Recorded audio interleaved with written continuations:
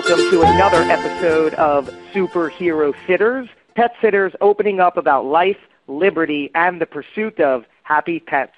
My name is Joshua Carey, co-founder of the APSE, the Association of Pet Sitting Excellence. And this series follows professional pet sitters who have stories to share that may sound heroic, but were really all just carried out without a second thought and, as we'll hear, all part of a day's work. In today's program, I'm thrilled to be joined by Miranda Murdock, who is the owner of My Pet's Buddy in Shreveport, Louisiana. Thanks for taking some time and joining us today, Miranda. Well, you're welcome, Josh. I'm happy to be here. Let's begin with a uh, little snapshot. What were you doing right before you opened up a pet sitting company? Well, right before I opened up my pet sitting company, I was working for the Shreveport Police Department in their public information office. Um, I did that for three years. Prior to that, I had been uh, active duty military in the Air Force for almost 28 years. What was your position there? My rank was Chief Master Sergeant, but I was a first sergeant and responsible for the health, morale, welfare, and discipline of all of the enlisted troops. And how did you find yourself going from active military to a pet sitter? I realized I was coming up on 50 years old and had never owned my own business, so I decided that's what I wanted to do. And I picked pet sitting because my husband had made the announcement that after our pets that we had at the time passed, that we weren't getting anymore so that we would be free to travel. So I knew I would need to get a pet sit somewhere. But in the meantime, since he made that proclamation, we've since acquired two new dogs and a parrot, so his proclamation kind of went out the window anyways. Tell me what happened starting a few years ago with one of your clients. Well, in 2007, I was contacted by a woman whose brother was in the hospital, and she had been taking care of his cat, but because she lived in a different town and worked full time, it was beginning to be a strain for her. So she hired me to go over every day and take care of the cat while Jim, my client, was in the hospital. So over the next few months, Jim was hospitalized off and on many times. In the in the end, I think he ended up having 13 different surgeries for cancer. And then in 2009, Jim asked me if I would continue to care for the cats even when he was there because he had gotten so frail and was heavily medicated with pain medication and did not always remember to feed the cat. So he just felt it was better that I come every day. And to be honest, I think he liked the companionship because when you see somebody every day, you develop a friendship with them he he didn't eat very much. He was a like I said, a little old man, but he would sometimes get a craving for a hamburger, and he would call me up in the morning and say, "Say when you come over, could you stop and get me a hamburger?" And he used to ma- he used to make me laugh. His brother would call me and say, "Tomorrow is Jim's birthday. Could you go and pick him up a cake?" Uh, which I would. So you really quickly became not only a friend, but really part of the family a part of the family and I think his connection to the outside world because as he got weaker he did not go out very much. And the few times that I wasn't available if I had to go out of town, then one of my sons would go over and take care of his cat and sit with him and, and talk with him. So what happened next? Well, as I said, he was getting weaker, and so we had several conversations about what would happen to his cat's patches and paws he was losing his will because he was in an awful lot of pain. But I told Jim that I would continue to care for Patches and Paws until I found them a permanent home. And unbeknownst to me at the time that we were having those conversations, he did contact his lawyer and made provisions both for the cat's continued care and for my bill to continue being paid. The the cats would remain in the house and funds were set aside from the estate for the cat's care. The cats actually had to go to a home. They could not be taken to a shelter.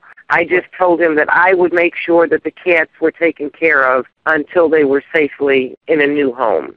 Tell me what happened when you made one of your next pet sitting visits to Jim's house. Like I said, I was doing daily visits, and I did a daily visit one day, and I came in and I hollered for Jim because he was not in the living room where I usually found him. But he didn't answer, and I assumed that the neighbor had taken him to the doctor. But something bothered me, and I left and did my other sits, but something kept tickling me in the back of my brain. So I went back about two hours later, and this time when I called for him, I heard a little bit of moaning. And I had previously looked in the bedroom, but had not seen him in the bed. But when I heard the moaning, I went and looked further, and apparently Jim had fallen down, and in his effort to get up, all he had succeeded in doing was pushing himself further under the bed and only his feet were sticking out, which is why it wasn't immediately noticeable to me. At that time, I, I called 911 and they came and got him, but that was the last trip that he would make to the hospital. He, he did not come home from that one and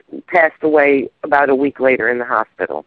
By this time, I had been seeing the cat and Jim every day for two years, so I also knew his neighbors. And the neighbor decided to do a good deed because the grass hadn't been watered, and he had hooked up the sprinkler uh, in the backyard. And when I walked into the house, the kitchen and the laundry room were both completely flooded. Each room had about three inches of standing water because, unbeknownst to anybody, the previous winter the pipe going to that outhouse, uh, outside hose bib had cracked inside the wall. So the water was just going into the wall and eventually under the the wall into the kitchen and the laundry room. Wow. So at this point, Jim passes on, and how long before we have a happy ending for the cats, which were provisioned to stay in the home. You continue to go on and care for them in their home every day at this point, right? Yes, Jim passed away in September, and I've seen the cats every day since. And um, as a matter of fact, today uh, at six o'clock, I am meeting a woman who is driving 150 miles round trip to come take Patches and Paws home to live with her dog and her pet pig and her children. So you successfully, uh, you said uh, September, so about five or six months, you have been going every day to Jim's home to take care of his cats. Yes, every day. And that that's the kind of sad part because Patches and Paws are very they're not Heidi cats. They're very friendly cats and they love to play, so they needed human companionship so the timing of this conversation couldn't be more perfect because purely coincidental today you have successfully adopted them out to a to a great loving home. Yes this young woman emailed me and um said she had been waiting for two cats just like patches and paws and she's meeting me today at six o'clock. And like i said bless her heart she's driving 150 miles round trip to do this Wow. Well, really bless your heart, Miranda. I mean, that is an incredible story. What do you think the lesson of all this is? Because let's not forget, when the sister first contacted you a few years ago, you were just a stranger, and only after time did you become a friend and even more so a family member.